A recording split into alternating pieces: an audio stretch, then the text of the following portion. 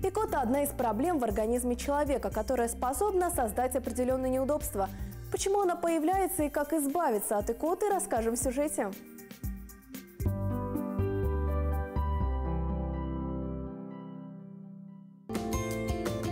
Икота – это довольно неприятное нарушение функции верхнего дыхания, которое возникает по разным причинам.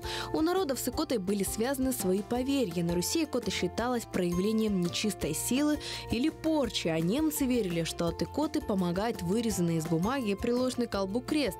Англичане для избавления от икоты крестили указательным пальцем правой руки носок левой ступни.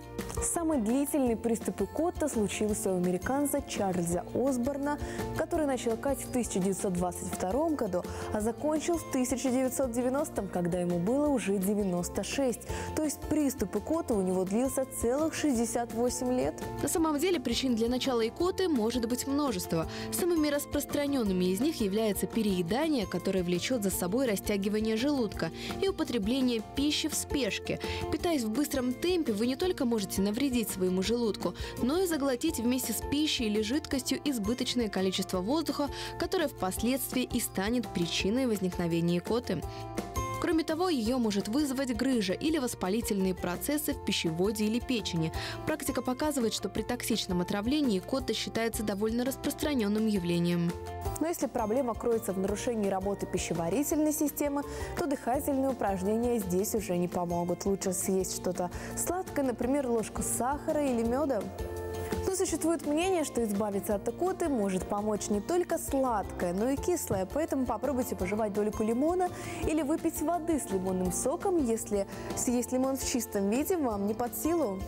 Нередко в борьбе с икотой помогает лед. Выпейте воды со льдом, либо просто рассосите кусочек льда, и через несколько минут икота прекратится. Некоторые предпочитают класть грелку, наполненную льдом, на область диафрагмы, что тоже весьма эффективно. Многим справиться с икотой помогает довольно простой метод.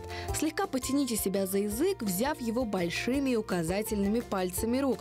Но здесь главное не переусердствовать и не нанести себе травму от сильного рывка. Есть и нетрадиционные методы методы избавления от икоты. Например, щекотка. Считается, что если рассмешить человека, то икота пройдет сама по себе.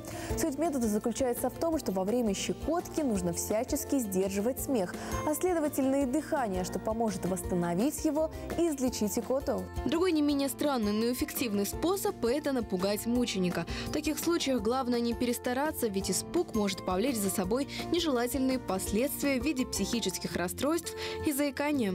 Кристина Смирнова, Сергей Мякишев. Тюменское время.